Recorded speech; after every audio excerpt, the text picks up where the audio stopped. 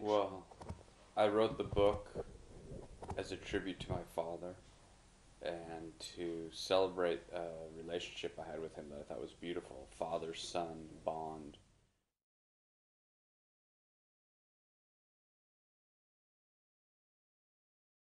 Yeah. Yeah, I don't think of it that way. For me, the book's about a father son relationship, and the airplane crash that I was in with my father is part of that relationship. It's where everything he passed on to me had to come alive. There was no more learning. Yes. I had to know it or die. Yes. So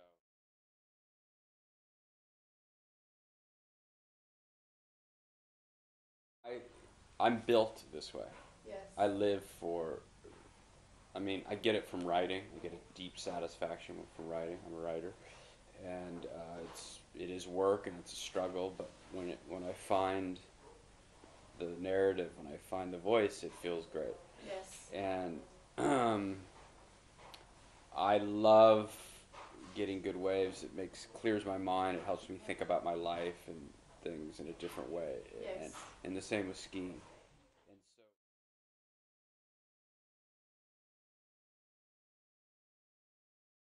Right. You were saying. He he could have passed a passion for cello on to me, yes. and we could have gone through sort of the similar stuff on just a different way. Uh, the father sharing the passion with the son. Me, it's a lot of work yes. to be good at, mu- at music. Uh, a lot of work and a lot of hard times and a lot of I don't want to in tears and all this stuff and I'm not good Mhm. enough or whatever.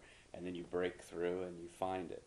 So skiing and surfing is just a metaphor. It just happens to be our thing, Oh yes. the okay. thing that he was into. I mean, he was a pretty good musician, but that's not what he yes, passed yes, on guitar and everything. but uh, but uh, so so my point is if I had on my own also been attracted to the cello or something, I think he would have supported that. Yes. Um, but for him, see, he, he came from a different time where he didn't analyze. okay, you know, how's he gonna feel and what's the what's the consequences of making him? He Yeah. just went, He This just is felt great. wanted This to is make great. You, yeah. and I'm gonna share this with him. yes. And the sooner he gets it, the more fun he's gonna have. yes. So maybe so so. Okay. Was, So, so the book was motivated by my son when he was about four years old.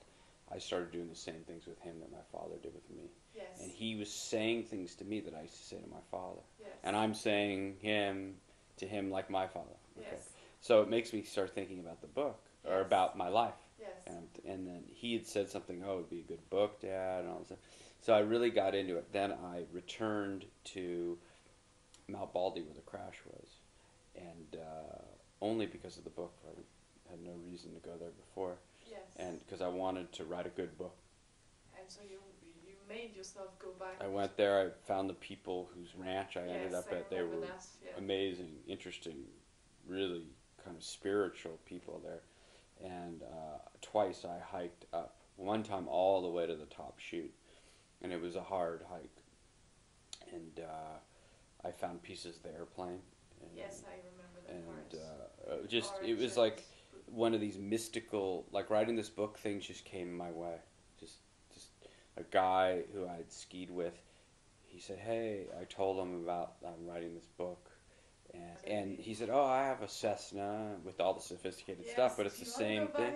and so we flew the route, and This it just crazy. brought it This all back. crazy, Yeah, it was crazy. It was yes. crazy and um, just just the whole thing of be touching the same rocks and crawling up the little canyons again.